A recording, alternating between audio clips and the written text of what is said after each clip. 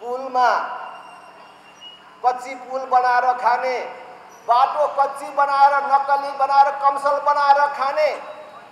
Licence दिँदा ठेक्कापट्टामा खाने मात्र होइन। खाँदा खाँदा आफ्नो नागरिक बेचेर खानेमा पनि यिनीहरूको दलीय सहमति देखियो कि देखिएन। योभन्दा निकृष्ट भ्रष्टाचार के हुन सक्छ? भ्रष्टाचारको पनि तल्लो तहको भ्रष्टाचार योभन्दा अर्को के हुन सक्छ? आफ्नो जनता बेचेर खाने। कस्तो कल्पना होला? योभन्दा दुःखदायी र योभन्दा लज्जास्पद विषय केही पनि हुन सक्दैन। आज विश्व जगतमा नेपालको बदनाम भएको छ। नेपालको शिर झुक्ने काम भएको छ। यही काण्ड पनि आज खास गरी नेपाल प्रहरीको जोड बलमा र प्रधानमन्त्री स्वयंको भनाइलाई सापट्टि दिने हो भने विदेशीहरूको चासोमा बल्ल अगाडि बढेको छ। तर यो पनि अनुसन्धान पूर्ण नभइकन फाइल अदालततर्फ जाने दिशामा छ।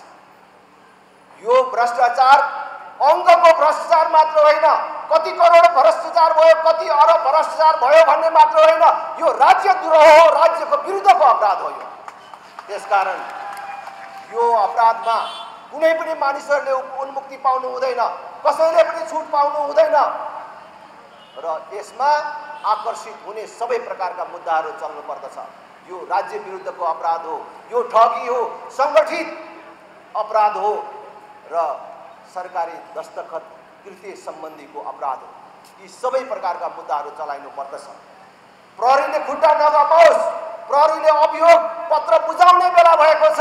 त्यो अभियोग पत्रमा छानबिनमा आउनुपर्ने कुनै पनि मानिसहरूको नाम नछुटोस् र यी आकर्षित हुने कुनै पनि मुद्दाहरू नछुटोस् भनेर दबाब सिर्जना गर्न पनि हामीले यो जनसभाको आयोजना गरेका हौँ र तपाईँहरूलाई हामीले आह्वान गरेका